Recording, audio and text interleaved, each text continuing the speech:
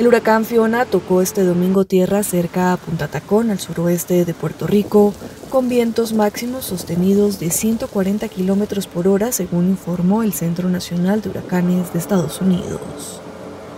Según el NHC, el huracán podría producir inundaciones por marejadas ciclónicas de 30 a 90 centímetros sobre suelo normalmente seco a lo largo de la costa este y sur de Puerto Rico, como también en las islas Vieques y Culebra. Fiona es un huracán categoría 1 de un total de 5 en la escala Saffir-Simpson. Amenaza con torrenciales lluvias, inundaciones, deslizamiento de lodo, marejada ciclónica y corrientes de resaca.